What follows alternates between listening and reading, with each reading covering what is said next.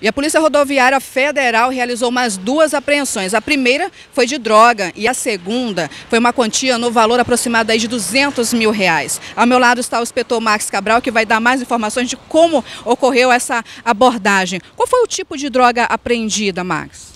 Eliane, bom dia a todos também. Isso teve apreensão na manhã de ontem, por volta de 5 horas da manhã. Abordagem nossa de rotina, ali em frente ao quilômetro 759, a BR-364, a nossa unidade operacional próxima ao Presidente Federal. É, foi uma abordagem a um ônibus de intermunicipal, ele seguia de Nova Moré até aqui a capital, Porto Velho. Durante essa fiscalização, que é praxe de se fazer, a gente até pede a colaboração da sociedade para que tenha um pouco de paciência, por vezes reclama da, da demora que tem de chegar ao destino final, mas é o nosso trabalho em prol da segurança coletiva. E durante essa fiscalização, os policiais visualizaram embaixo do, da poltrona de um dos passageiros é, uma mochila. Esse passageiro de 18 anos também, inclusive, demonstrou um certo nervosismo. Quando foi verificar essa sacola dele, a equipe encontrou cinco porções de skunk, né, de procedência boliviana, totalizaram meio quilo aí da droga. Ele falou que ele é residente de Nova Moré, receberia pelo transporte, não chegou a revelar quanto, chegou a ser, falou que seria remunerado assim que chegasse aqui na rodoviária de Porto Velho e mencionou que o valor aproximado da droga de mercado seria entre 4 mil e 5 mil reais. Então foi uma apreensão relevante, apesar da quantidade ser pequena, mas que a gente já consegue frustrar uma pessoa jovem que possivelmente iria enveredar nessa carreira criminosa. Então já é um certo susto para ele, para que ele repense o tipo de conduta. Agora sim, teve essa outra apreensão também, foi município de Vilhena, né? Um valor de 200 mil reais. Como é que foi essa situação? Isso já é, essa foi por volta das 16 horas. É, uma abordagem também ali na, no quilômetro 1, tá, na entrada da, da, do estado de Rondônia, divisa ali com o Mato Grosso, estado de Comodoro. Feita a fiscalização no veículo de passeio, é, dois abordados, dois homens no veículo. Durante a fiscalização, o, o, os policiais foram verificar os itens obrigatórios, como macaco, estepe, é, enfim, triângulo, chave de roda. Isso fica na parte da mala do veículo. Quando foram verificar essa situação, viram uma modificação é, nas características do assoalho, do revestimento, perdão, do banco traseiro. Isso chamou atenção, eles rebateram o banco traseiro do passageiro e localizaram um compartimento oculto, que a gente chama de mocó, né?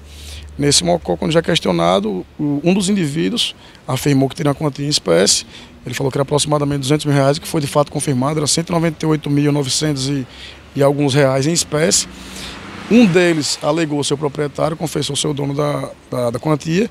Ele alegou que trabalha com é, manejo clandestino de madeira e que nesse mês de janeiro teria conseguido arrecadar cerca de 20 mil reais, ou seja, um décimo do, do valor que estava ali, digamos assim, e ele não soube justificar qual a procedência desse dinheiro, e ainda assim o manejo é clandestino, então ele não soube justificar qual a procedência desse dinheiro, alegou que andava com ele escondido para evitar assaltos aqui no estado de Mato Grosso, estado de Rondônia, mas como não teve a comprovação da licitude dessa, dessa quantia, ele, os dois foram encaminhados para a Polícia de Vilhena para que eles vão responder que seja investigado o possível crime de lavagem de capitais.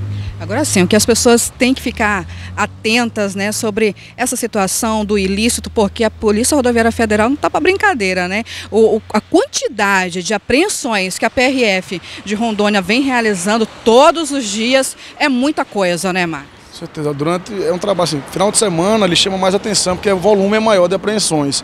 Mas durante a semana também a gente vem tendo apreensões pontuais, como essas duas, foram durante a semana. E os policiais de fato não estão é, dando qualquer tipo de descanso para a criminalidade aqui no estado, pelo contrário, enfrentamento cada, mais, cada vez mais eficaz, mais assíduo. E que a gente sabe, eu estava mencionando aqui, é, só nesse início de, de, de janeiro, os 20 primeiros dias já estava mais do que o dobro de ocorrências criminais. Então estou esperando fechar um mês para fazer esse balanço, mas com certeza vai ser uma diferença assustadora. E isso é um trabalho que enche a gente de orgulho, é um trabalho estimulante para a gente e que a gente conta sempre também com a colaboração da sociedade. Em Ji-Paraná, no final de semana, a gente teve uma apreensão de mais de 120 mil maços de cigarro, que a iniciativa dessa, dessa fiscalização foi por meio da denúncia anônima. A população entrou em contato via 191, repassou que tem um caminhão suspeito. Esse veículo foi suspeito, foi abordado e, de fato, constatou um ilícito. Então a gente conta sempre com a população de Santa para conseguir números ainda melhores.